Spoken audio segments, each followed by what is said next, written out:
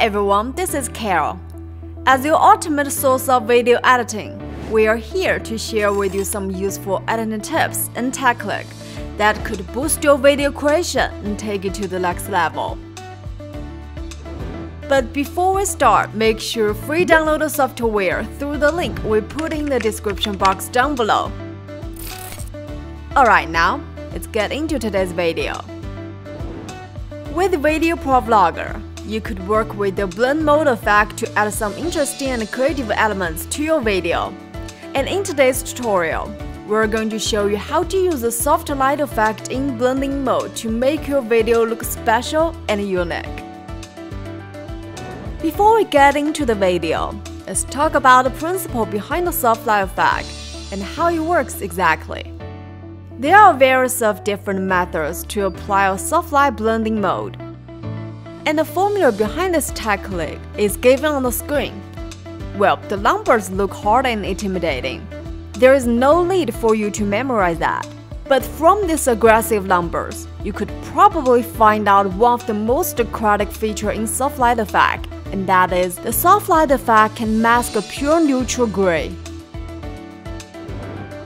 Here, we import a picture with a grayscale value of 50%. And place it into the overlay track. Adjust the blend mode to soft light. And here we can see it makes completely no difference to the image. Thus, based on that, we could come to know the soft light effect is able to mask the pure neutral green in an image.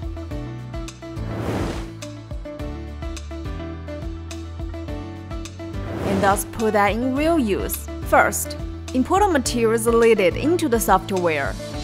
Drag it to the video track. Then, drag the same video to the overlay track. Click the two little buttons of to Screen to make two clips overlap. Next, find Blend in the Inspector section and choose Soft Light. Then, you could find out the neutral gray is removed from the image.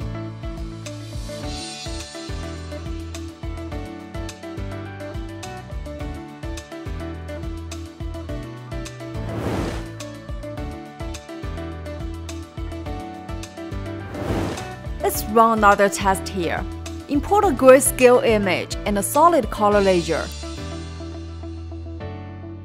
Place the grayscale image to the video track and put a solid color layer in overlay track.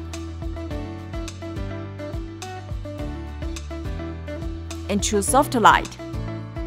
Then, we can see that with the soft lighting blending mode, the color change does not work for pure white and pure black.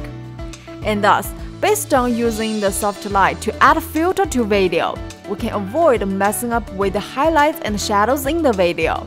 Here let's try something. Import a video and a solid color layer first.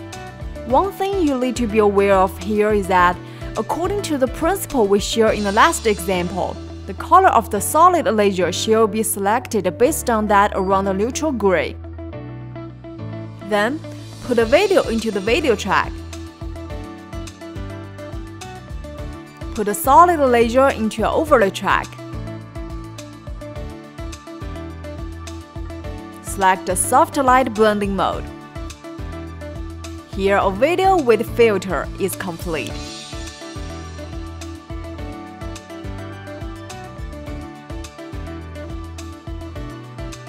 Alright, now you have reached the end of today's video about soft light blending mode in VideoProc Vlogger. I think you've got it.